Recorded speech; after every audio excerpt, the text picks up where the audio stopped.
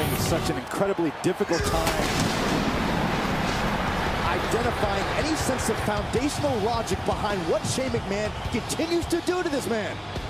Shane McMahon is one of the most intelligent people I know, but I have to question his intelligence in uh, antagonizing the monster among men. That's not a very wise decision. Well, Braun Strowman can march into his match against Shane McMahon at WrestleMania. Shane McMahon looks thrilled to see Braun Strowman out here. Now you got Jaxson Ryker and Elias by your side. You got a little protection with you.